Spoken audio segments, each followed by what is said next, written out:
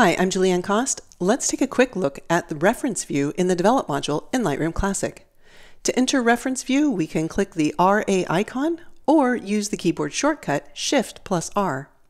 This splits the screen into two panels with space for the reference image on the left and the selected or active image on the right.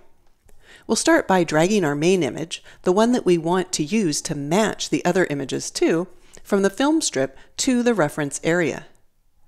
This image will remain static, allowing us to compare the images when we're editing. Then I'll select another image from the film strip, making it my active image. This is the image that we're going to adjust. We'll start by increasing the white slider, and then add a bit of dehaze, making sure to keep my eye on both of the images as I make the edits. Then, because I only want to decrease the exposure a little, I'll click in the text entry field and then use the arrow keys.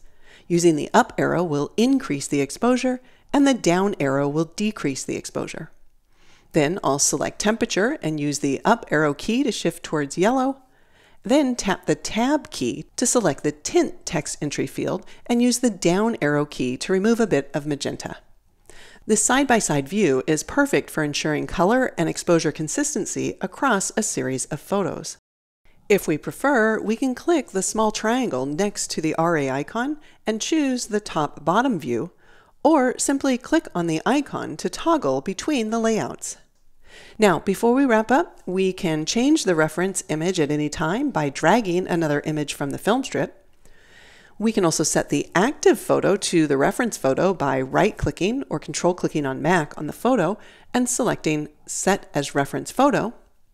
And if we have multiple images selected in the film strip, you can right click or control click on Mac on the desired photo and choose Set as Reference Photo. Lightroom Classic clears the current reference photo when you switch modules.